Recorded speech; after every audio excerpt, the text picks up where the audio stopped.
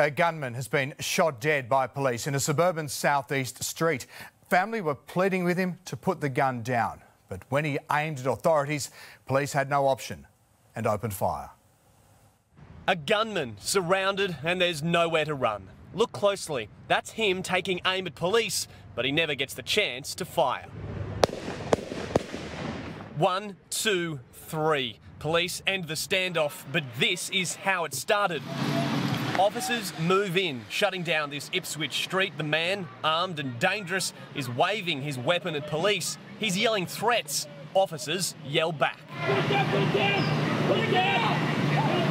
They wait metres away, heavily armed, using squad cars as shields. An exclusion zone set up, residents told to get to safety. Park up there, okay? Good to sleep, yeah. I need you to go straight away.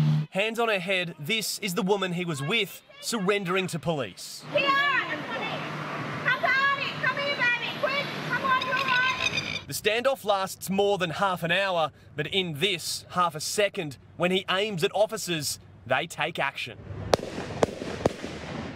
This is his family. The moment shots are fired. Kiara, Gina, hold her.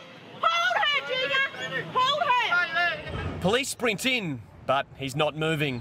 Well, the gunshots have just rung out, and you can see here that is the family. Only moments ago, they were yelling out to this man, telling him to put the gun down. The paramedics have now moved in to perform CPR. Paramedics try, but there's nothing they can do. He's pronounced dead at the scene.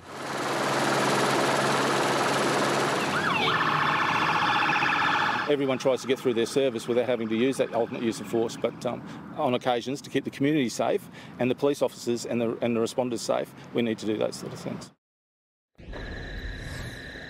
I'll just show you what this usually quiet street looks like right now. You can see the police tape is up. There are dozens of officers still on the scene. This is, of course, a crime scene. A report is being prepared for the coroner, but also Ethical Standards Command has launched its own investigation into the actions of this officer who fatally shot this 27-year-old. Jonathan, you've also got to remember family and friends of the now deceased, some of them who saw this with their own eyes, are tonight grieving.